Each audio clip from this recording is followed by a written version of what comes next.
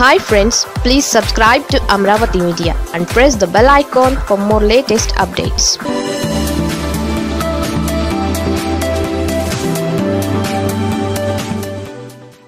video టేపుల్లో అడ్డంగా దొరికిపోయి అది ఆయన వాయిస్ అని చెప్పేసి ఫారెన్సిక్ ల్యాబ్ యొక్క రిపోర్ట్ కూడా వచ్చిన తర్వాత కూడా ఇప్పటి వరకు కూడా అతని మీద యాక్షన్ తీసుకోలేదు. మేము అడుగుతా ఉన్నాం ఈరోజు కేంద్ర ప్రభుత్వాన్ని ఒక రాష్ట్రంలో ఉన్నటువంటి ముఖ్యమంత్రి వేరే రాష్ట్రంలో లంచం ఇవ్వటానికి ప్రయత్నించి అడ్డంగా దొరికిపోయాడు కాబట్టి ఇది సిబిఐ చేత విచారణ జరిపించాలి అని చెప్పేసి మేము కోరుతా ఉన్నాం. మరి ఎందుకు? ఒక చిన్న ఆఫీసర్కైతే ఇమ్మీడియట్గా మీరు అరెస్ట్ చేసి లోపలేస్తారే? మరి ఇంత పెద్ద ఎత్తులో సాక్ష్యాలు దొరికినా గానీ చంద్రబాబు నాయుడు గారి మీద మీరు ఎందుకు చర్య తీసుకోవటం లేదు? ఇమీడియట్గా ఇది సిబిఐ రంగంలోకి దిగాలి. మేము అమిత్ షా గారిని కలిసి అలాగే ప్రధానమంత్రి గారిని కలిసి రాష్ట్రపతి గారిని కలిసి ఈ విషయంగా పూర్తిగా వాళ్ళకి అన్ని డీటెయిల్స్ ఇచ్చి దీని మీద సిబిఐ ఎంక్వైరీ చేయమని చెప్పేసి అడగటానికి మేము సిద్ధంగా ఉన్నాం.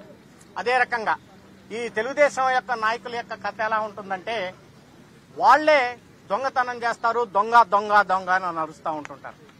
మరి మా ముఖ్యమంత్రి గారు పాదయాత్ర సమయంలో ప్రతి మీటింగ్లో కూడా ఒక మాట చెప్తా ఉండేవాళ్ళు ఇప్పుడు గుర్తుకొస్తా ఉంది మాకు అది ఒక వ్యక్తి నేరం చేసి జైల్లో ఉంటాడు. జైల్లో ఉండి తర్వాత కోర్టుకు హాజరైన తర్వాత ఆ కోర్టులో జడ్జి గారు వచ్చినప్పుడు అయ్యా నన్ను రక్షించు రక్షించు అని చెప్పి కేకలేస్తా ఉంటుంటాడు. నాకు తల్లిదండ్రులు లేరు నన్ను రక్షించని చెప్పేసి కేకలేస్తా ఉంటుంటాడు.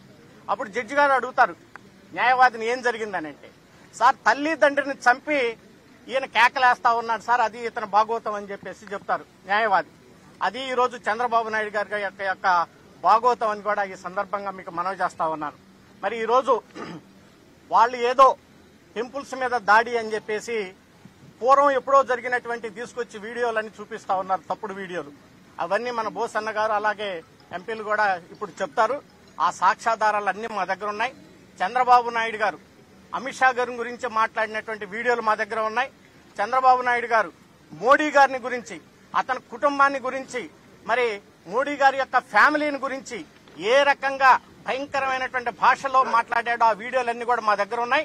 మేము రేపు ఎల్లుండో ప్రధానమంత్రి గారిని అలాగే అమిత్ షా గారిని కలిసి బీజేపీకి నాయకులను కలిసి పర్ఫెక్ట్గా ఇవన్నీ ప్రజెంటేషన్ చేసి చంద్రబాబు నాయుడు గారిని సిబిఐ కేసు నమోదు చేసి దాన్ని త్వరగా ఎంక్వైరీ చేయమని చెప్పేసి మేము కోరుతా ఉన్నాం.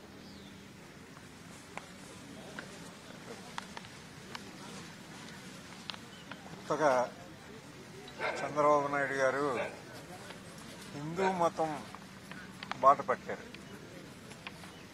ఆయనకి ఎప్పుడు పాపం అటువంటి అలవాట్లు లేవు కానీ ఇంకంతకంటే గత్యంతరం లేదు అని హిందూ మతం దారి పెట్టారు. టెక్కల్లో శ్రీకాకుళం జిల్లా టెక్కల్లో నాలుగు రోడ్ల కూడల్లో వైఎస్ఆర్ కాంగ్రెస్ పార్టీ కార్యకర్తలు వైఎస్ రాజశేఖర రెడ్డి గారి విగ్రహం పెడదామని ఆలోచిస్తుంటే అక్కడ దేవాలయంలో నంది విగ్రహాన్ని తీసుకుని వచ్చి నాలుగు రోడ్డు కూడల్లో పెట్టారు. అది ఆయనకు ఉన్నటువంటి హిందూ మతం మీద ఉన్నటువంటి ప్రేమ. ఎవరైనా దేవాలయంలో పెడతారు నంది విగ్రహం తీసుకెళ్ళి నాలుగు రోడ్డు కూడల్లో పెట్టరు ఎక్కడ? ఎక్కడ భారతదేశంలో ఎక్కడ కనిపించదు. కానీ తీసుకొచ్చి అక్కడ పెట్టి వీడియో క్లిప్పింగ్లో దొరికిన తర్వాత మాట మార్చారు మరలా తీసుకొచ్చి. ఏదో లిటిగేషన్ పెట్టడం ప్రజల్లోకి తీసుకెళ్ళటం ఒక కొత్త పాట పట్టాడు ఆయన. హిందూ మతం ఆయనే హిందూ మతాన్ని పుట్టించినవాడేమో అన్నట్టు మాట్లాడుతూ ఉన్నాడు ఇవాళ. హిందూ దేవాలయాల మీద దాడి చేసిన వాళ్ళు చాలా క్లియర్గా. రాజమండ్రిలో బుచ్చయ్య చౌదరి గారి అనుయాయులు అక్కడ విగ్రహం నాశనం చేస్తే దొరికిన సందర్భం ఉంది. వాళ్ళని అరెస్ట్ కూడా చేశారు. టెక్కల్లో నంది విగ్రహం దగ్గర వాళ్ళ కార్యకర్తలు దొరికారు. డీజీపీ గారే సాక్షాత్ చెప్పారు. తెలుగుదేశం పార్టీ కార్యకర్తలు కేసుల్లో దాదాపు పన్నెండు దేవాలయాల మీద అటాక్ చేసిన కేసులో ఉన్నారు అని. ఇంకంతకంటే ఇంకేం ఏం నిరూపణ కావాలి? సాక్షాత్ డీజీపీ గారు చెప్పారు. తెలుగుదేశం పార్టీ కార్యకర్తలు ఉన్నారు తెలుగుదేశం పార్టీ నాయకులు ఉన్నారు. వెనకాల వారి ప్రోద్బలం ఉందని సాక్షాత్ డీజీపీ గారు చెప్పినప్పుడు అంతకంటే ఇంకా సాక్ష్యం ఏం కావాలి దీనికి? ఇవాళ మీరు చెప్తున్నారు మమ్మల్ని అన్యాయంగా అరెస్ట్ చేశారు అచ్చెన్నాయుడు గారిని అన్యాయంగా అరెస్ట్ చేశారని. ఒకవేళ నిజంగానే గనక అన్యాయంగానే గన అరెస్ట్ చేస్తే కోర్టు ఒక ఎమ్మెల్యే ఒక ఎమ్మెల్యే వ్యక్తిని పద్నాలుగు రోజులు రిమాండ్ అవుతుంది. అందులోగా గ్రావిటీ కానీ సబ్స్టెన్స్ కానీ లేకపోతే కోర్టు ఇమీడియట్గా బెయిల్ ఇస్తుంది.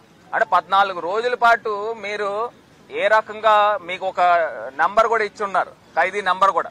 అంటే ఒక్కసారి ప్రజలందరూ గమనిస్తున్నారు. మీరు చేసే పనులన్నీ ఏదో నీతిమంతుల పనులు చేసినట్టు ప్రజల దగ్గర అందరికి దగ్గర కూడా మీరు మీరు ఇచ్చే కలర్ ఆ రకంగా ఉంది. కానీ రాష్ట్ర ప్రజలందరూ కూడా విజ్ఞులు రాష్ట్ర ప్రజలు అన్నీ కూడా గమనిస్తున్నారు. ఎవరు నిస్వార్థంగా పనిచేస్తున్నారు ఎవరు స్వార్థంతో పనిచేస్తున్నారు. ఇప్పుడు ఇవాళ హిందూ ఎజెండా మీదేసుకుని ఆయన ఏదో నేనే ట్రూ హిందూ అనే అనే రకంగా ఆయన వ్యవహారం చేస్తున్నారు. ఇవాళ ఒకటే ప్రశ్న అడుగుతున్నాము. మీరు రాజమండ్రిలో పుష్కరాల టైంలో మీ యొక్క పబ్లిక్ పబ్లిసిటీ స్టంట్ గురించి ఇరవై తొమ్మిది మంది ప్రాణాలు మీరు పొట్టను పెట్టుకోలేదని ఇవాళ అడుగుతున్నాము. మీరు పైన చాపర్ నుంచి వీడియో షూట్లు చేయించడం అదేవిధంగా కృష్ణా పుష్కరాల దగ్గరకు వచ్చినప్పుడు మీరు నలభై గుళ్ళను తొలగించారు. అక్కడ గుళ్ళు తొలగించి మీరు టాయిలెట్లు కట్టారు. హిందూ మనోభావాలు దెబ్బతినలేదా అని అడుగుతున్నాం. అదే రకంగా తిరుపతిలో సాక్షాత్తు తిరుమలలో వెయ్యి కాళ్ళ మండపాన్ని కూల్చారు. అంటే ఎన్ని వేల సంవత్సరాల చరిత్ర ఉంది మీరు ఏ రకంగా కూలుస్తారు? అంటే బ్యూటిఫికేషన్ మోడర్నైజేషన్ పేరుతో మీరు వెయ్యి కాళ్ళ మండపాన్ని ఎట్లా కూలుస్తారు అని అడుగుతున్నాం. ఈ రకమైన తప్పిదాలు ఎన్నో తప్పిదాలు దైవ తప్పిదాలు చేసి మీరు కులాలను వాడేసుకున్నారు.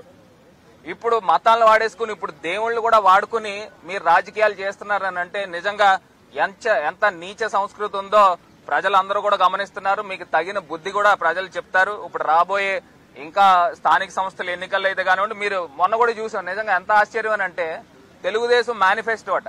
అంటే పంచాయతీలకి ఒక స్వతంత్రంగా జరిగే ఎలక్షన్లో ఆయన మేనిఫెస్టో ట్వంటీ ట్వంటీ వన్ అని ఆయన రిలీజ్ చేయడం.